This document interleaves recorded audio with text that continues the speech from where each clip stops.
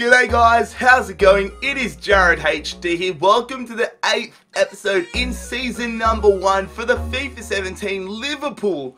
Liverpool, I was trying to see where it was, but Liverpool Dream Team Career Mode Series. Thank you guys for the support you have been showing on the series so far. I'm enjoying producing the series. It's probably my favourite series to enjoy, uh, to, to produce I should say, annually, the Dream Team series. So if you are enjoying it, don't forget to leave a like on the video. Also, hit that subscribe button down below if you are new around here. Become the 12th man on the Dream Team. Some very interesting Premier League games on the agenda today. Hopefully we can get 9 points from the 3 games. We also will be looking at our youth squads. We're getting some reports back. Keen to see what the future of Liverpool looks like. But before we can get into the gameplay, we have to answer your press conference questions, so let's do that now. So as per normal fellas, if you want to have the opportunity to have your question potentially answered in the next episode, don't forget to leave a question in the comment section down below. Joshy Sargent says, how do you feel about the injuries to Wijnaldum, Reus and Firmino? I'm not happy, of course I'm not happy. Now, luckily, one of those injuries has been scrapped.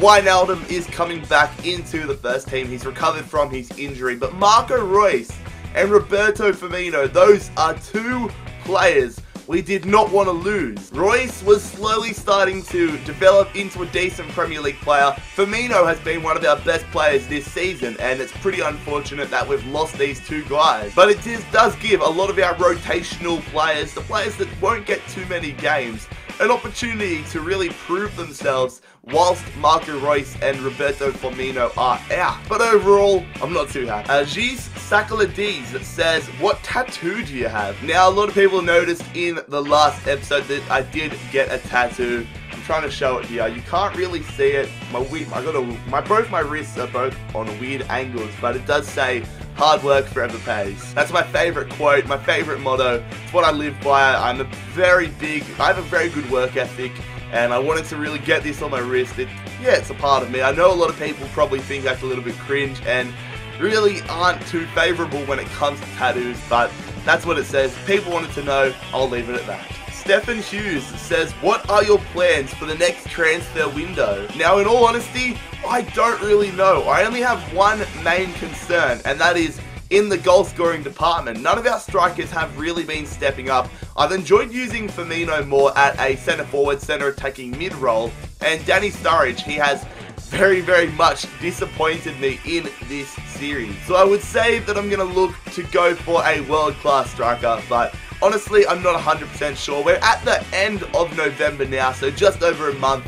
Sturridge still has a bit of time to prove himself, but that's my thoughts at the moment. And the final question in today's episode comes from Hyung Bean Chon. I apologize if I pronounced that wrong, but he says Karius is unhappy that he didn't start against Southampton as he was in good form with some clean sheets. What are your thoughts on this? This is just a an absolute false rumour. Karius knows that him and Donnarumma would be sharing the goal scoring abilities, goal scoring job this season. I told him that when I brought Donnarumma in, he thought it was fine. I said I would still make him the number one goalkeeper. And I just decided against Southampton to give Donnarumma a shot. Yes, Karius was in form. And yes, Donnarumma did, did let in a cheap goal, but overall, there's nothing to make out of this. It's going to be a rotational position, and that's it. So that will conclude today's press conference. Thank you once again for the fantastic questions, fellas. But now, let's get into the gameplay. We kick today's episode off with a matchup at Anfield against Sunderland. Alright, so here we go, fellas. We kick off today's episode at home against Sunderland as I said, heading into this game, that I want to get 9 points from 9 possible points in today's episode. We start things off against David Moyes' Black Cat. Now, looking at the Premier League standings, only 12 games into the season, we are fighting for top 4. Sunderland fighting for survival down in 18. So here is our starting 11 for today's game in front of the Kop we see that we have Loris Karius back into the starting 11. Lovren and Van Dijk are my two centre-backs. Lallana in there, and I've decided to reward Danny Ings. When he's played, he's been half decent. Danny Sturridge hasn't been great, so why not give the Englishman a go up front? And then here is the Sunderland starting 11. David Moyes' men. They've got Mika in goals. No Jordan Pickford, which I don't agree with. Van Aanholt there, he is left. Pickford on the bench. They've got Adnan Januzaj, but I'm not happy about Pickford not being there. In my opinion, he has been one of the best goalkeepers in the Premier League this season in real life. They're on the attack here. They've got some decent numbers. Some poor attacking form from Lee Cattermole, but it goes to Jan Kirchhoff, the German, pushing up very, very high there. Fortunately, we don't get punished for it. Oh, they're through here. Victor Anichebe, the former Everton man, going out wide to Khazri. Wow. Khazri has scored that one. Are you kidding me? We shouldn't have given him, given him the space, but what is Karius doing there? I thought that was a fairly savable shot. I want to see a better replay. He hits that one, Karius very late to react.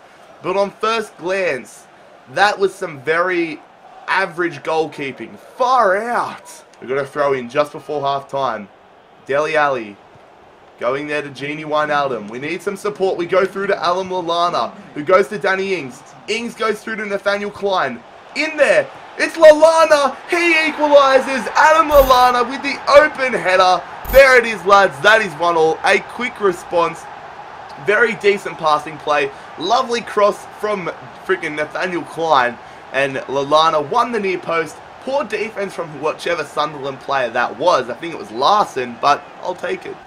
Borini's on the attack here. They've got numbers early in the second half. Up against Van Dijk. Poor defense there. Borini, great save from Karius. Good stuff from Lovren. Dele Alli. Going there to Lallana. Who's going to thread it out to Divock Origi. Whipping that one in there. We'll take the corner. So it's a corner here. Can we make the most of it? It's going to be Mane to whip this one in. Goes there. Very close. Lovren goal line clearance from Jones. Wijnaldum with a follow-up save from Mika. Divock Origi Lallana through to Dele Alli. Come on, lads. Dele Alli running through, going to Danny Ings. I see Dele Alli. Dele Alli on the angle. Oh, if we scored that, that would have been a great finish. We have the throw in at least. It's Mane going back here to Wijnaldum. He's going to Adam Lallana. I see Divock Origi. Give him space and he can score it. Origi through. Hits that one. Oh, we're getting so close. Oh, that's poor clearance there. They have a chance here, Sunderland. Larsson tipped over from Karius. We're in stoppage time and Sunderland have the corner.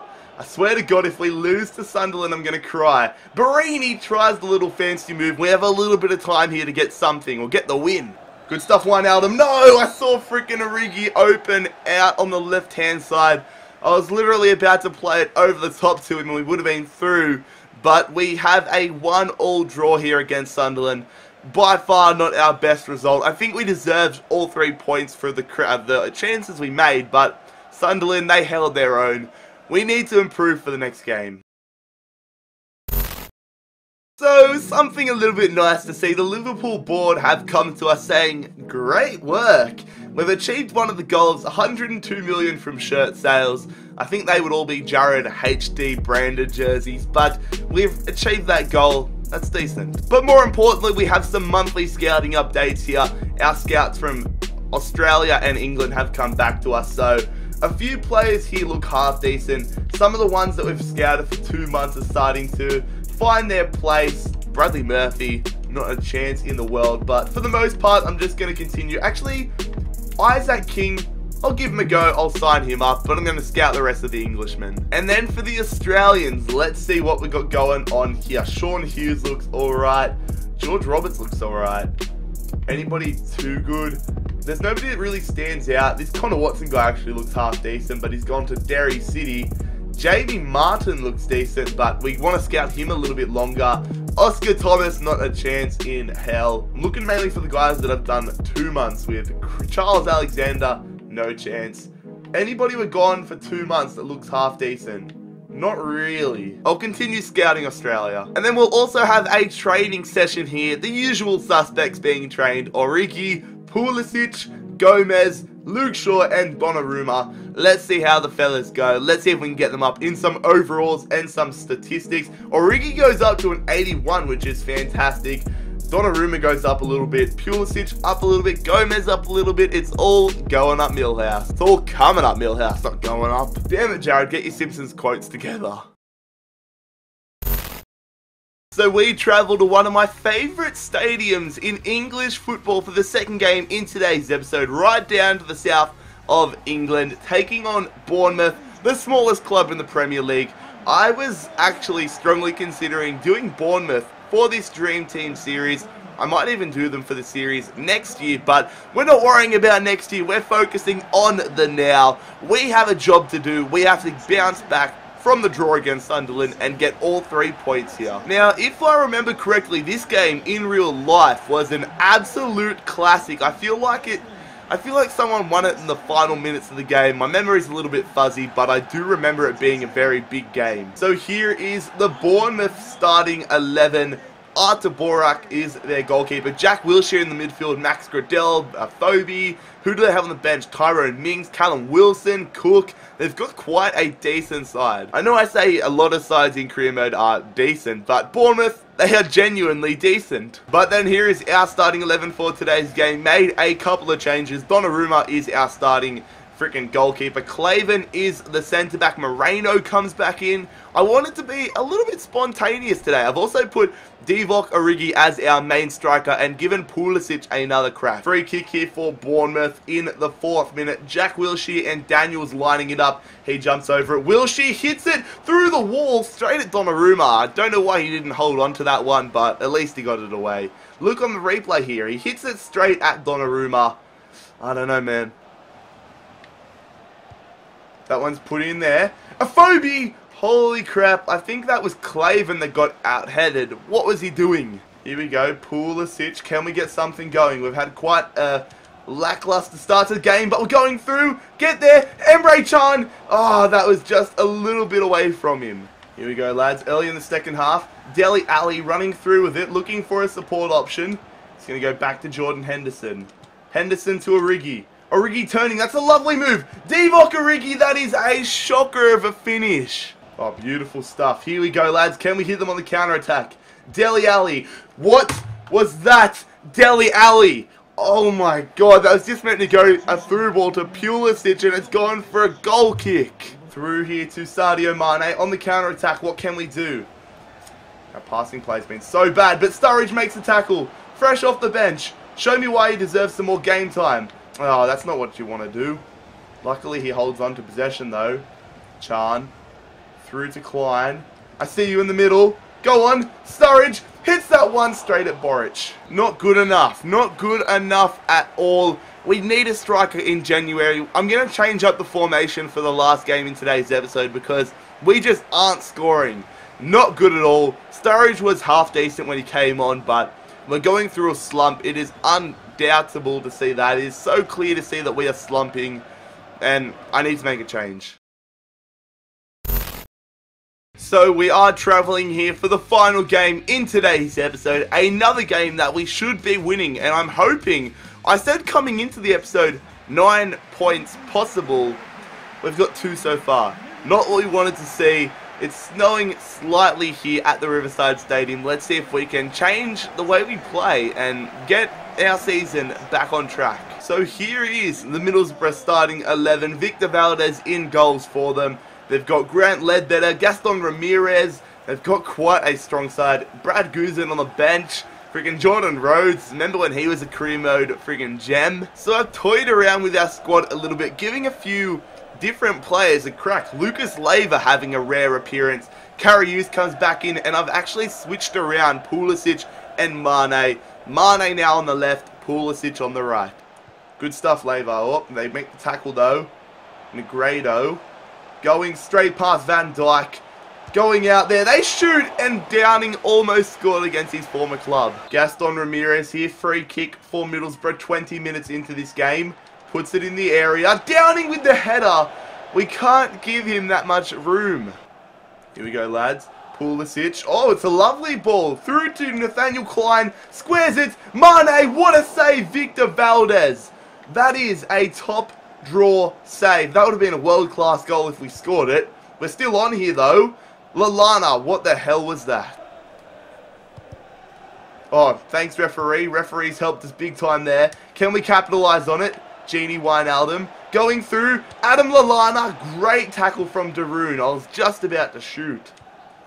Here we go, lads. It's Danny Ings. He's going to play this one over the top to Christian Pulisic. Brings it down. The American. Ah, that, that was just a stupid decision. Here we go, lads. Danny Ings going through there to Wijnaldum. Holding it up. We're going to go back through to Danny Ings. Hits it, misses.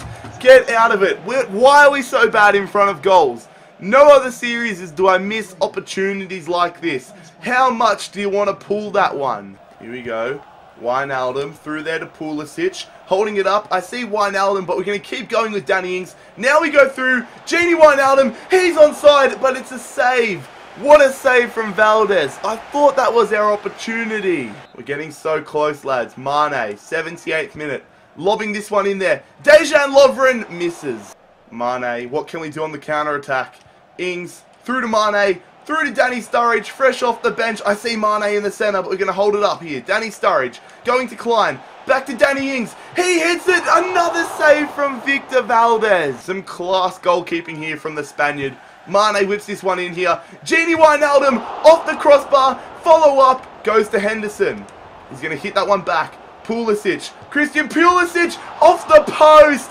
How close can we get? You're kidding me. Another draw.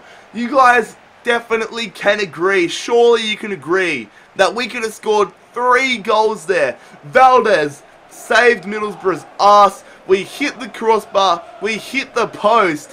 What the hell was that? Oh, that is frustrating. That was probably our best performance out of all three of the games. And we only get a point. And we don't even score a goal. A striker. We are going for a striker next episode. Surely you guys can agree that we are getting very, very unlucky in this series. As I said numerous times in this episode, we're closing in on the January transfer window. In fact, I'm going to go across here, have a look. So, not next episode, but the one after, we will enter the January transfer window. My main focus is bringing in a striker because we need to score some goals. But fellas, if you did enjoy today's episode, make sure that you leave a like on the video. I think you would have enjoyed it if you enjoy seeing me suffer. Make sure you hit that subscribe button down below if you are new around here. We are posting career mode content on the daily. And also make sure you check out my social media links, my Snapchat, my Instagram, and my Twitter. All three of those linked down below as per normal. But most importantly, fellas, I hope you have a fantastic day. It has been Jarrad HD here. I'm out. Peace.